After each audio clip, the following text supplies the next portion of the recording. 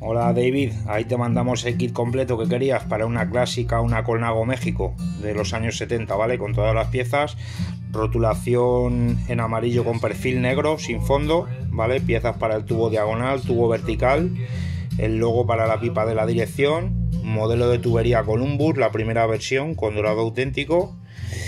Eh, tenemos las dos piezas del modelo México para las vainas traseras, la firma del constructor en negro para el tubo horizontal Pieza con el laurel.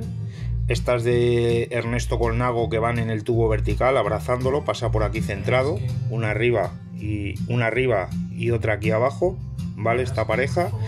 Y luego tenemos las banderas, ¿vale? De campeón del mundo. Aquí tienes el récord de la hora del año 72 y Made in Italy, ¿vale?